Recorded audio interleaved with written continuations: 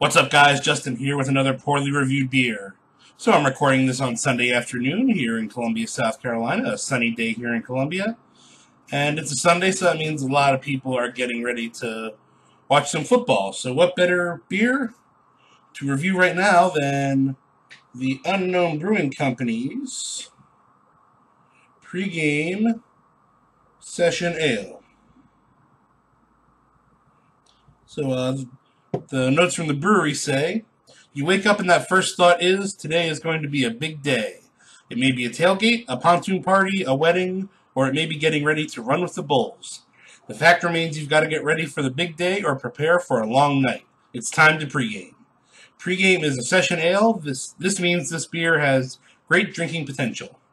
At 4.5% ABV, it beholds all the craft flavor that you crave, but stays away from being too heavy.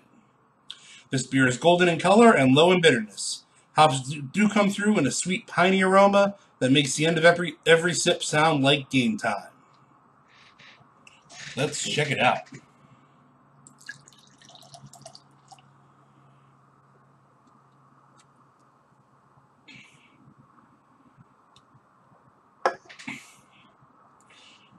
Nice golden color as advertised maybe a finger's worth ahead and a few bubbles shooting up the glass, but not many. So not a lot of carbonation overall. All right, let's go ahead and give it a try.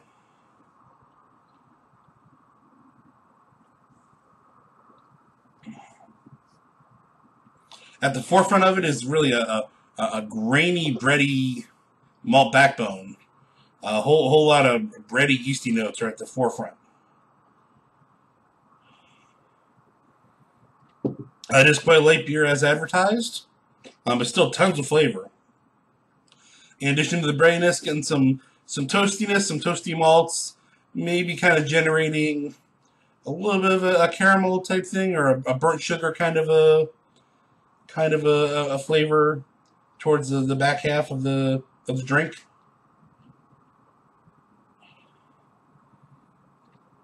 Again, not a ton of body. I'm really pretty straightforward overall, not super complex.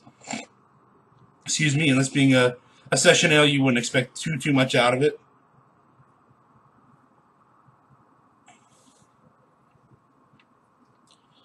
Yeah, nice uh, spicy note coming through a little bit as well. Uh, I think it's being generated kind of from the from the the, the breadiness and the uh, the breadiness and the, the toastiness combined.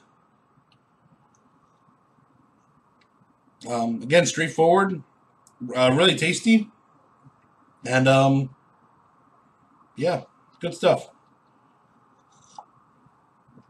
In terms of a session ale, the, the flavors are actually pretty bold, I find. Um, and I think that's a little surprising for a, a session ale and maybe something that would uh, knock this beer a little bit for that for that kind of a, a style. I, I, would find session ales you want to be um, not just low in ABV, but relatively mild in flavors. You want you want something there, but you want something fairly mild in flavor so that your palate doesn't get fatigued as you drink uh, multiple. That's kind of the idea of the session, is to be able to have multiple ones in a session. Um, a lot of good flavors, but I can see them fatiguing the palate after uh, a little while.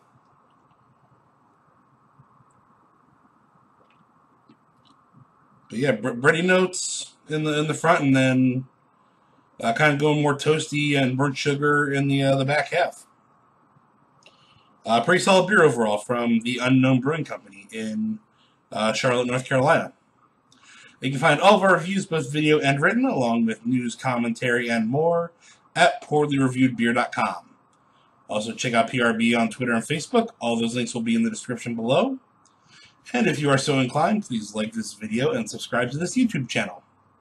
That's it for this edition of Pourly Reviewed Beer. See you next time.